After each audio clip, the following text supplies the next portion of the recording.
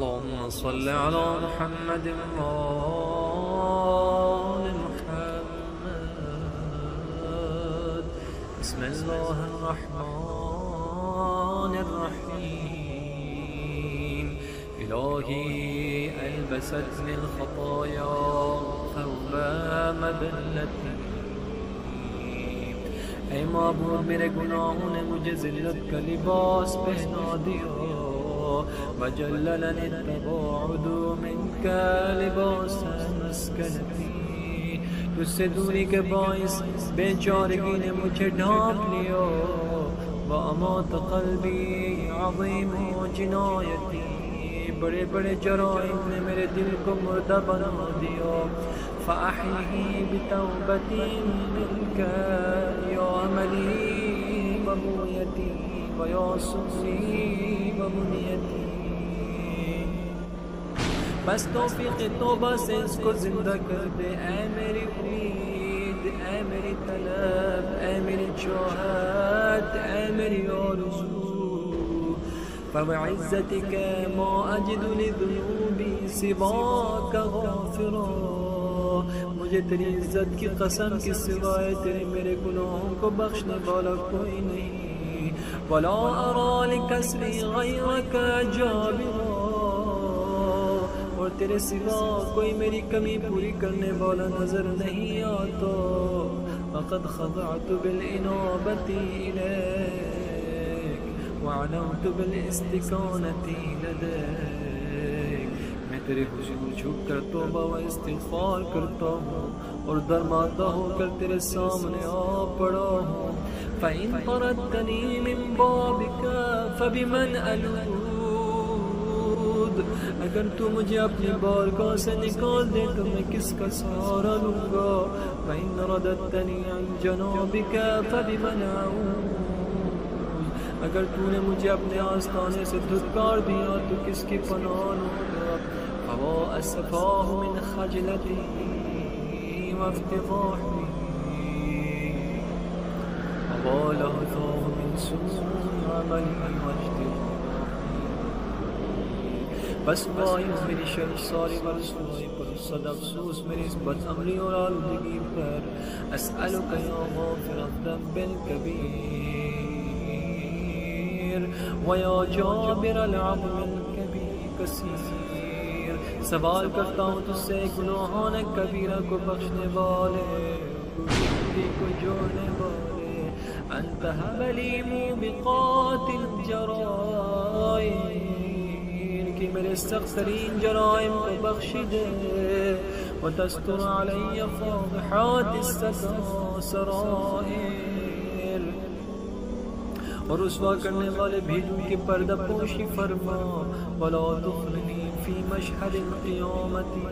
من برد عفوك وغفرك میدان قیامت میں مجھے اپنے بخشش و مغفرت سے نفر. ولا تحرمني من جمیل صفك و سترك اپنے بہترین پردگاری و چشم چشست محروم نکر. الہی غلل علا ذنبی غمام رحمتك اے مامور میرے گناہ پر اپنے اندر انتصار رحمتك وانصر على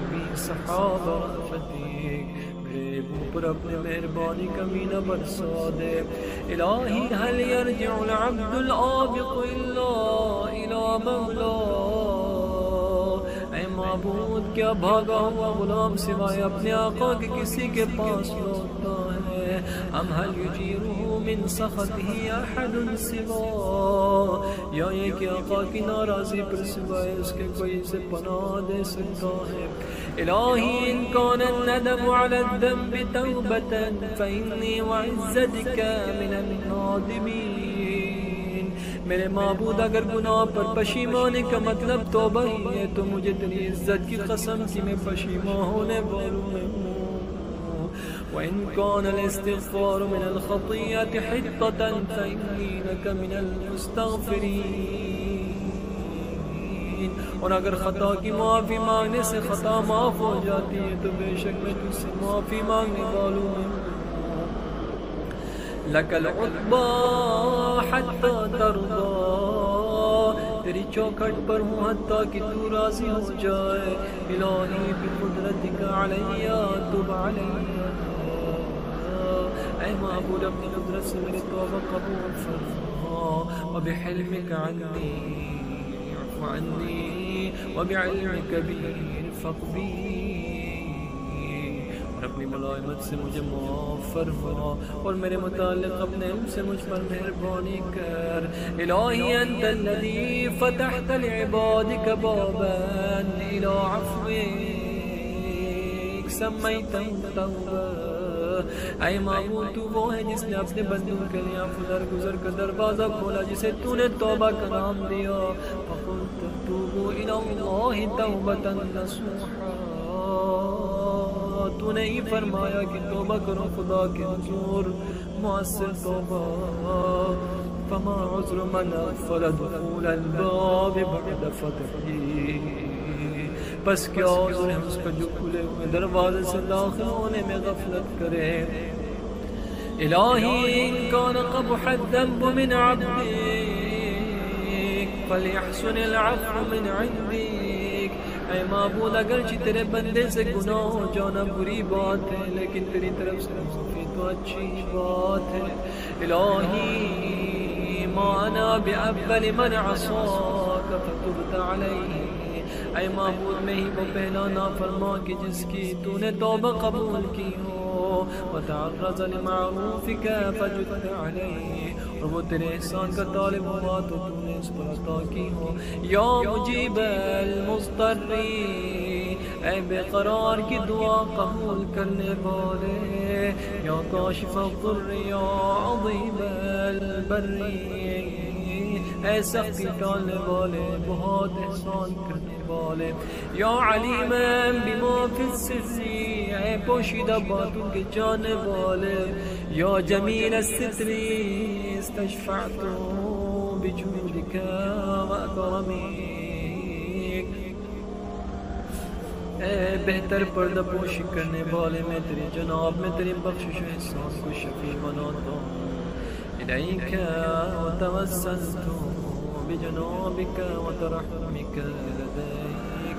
اور تیرے سامنے تیری ذات اور تیرے قرار دیتا فاستجب دعائی بس میری دعا قبول فرما. ولا تخیم فیک رجائی اور تجھ سے میری وتقبل توبتی میری توبہ قبول فرما. وکفر خطیئتی اپنے رحم و کرم سے میری خطائیں معاف کر دے۔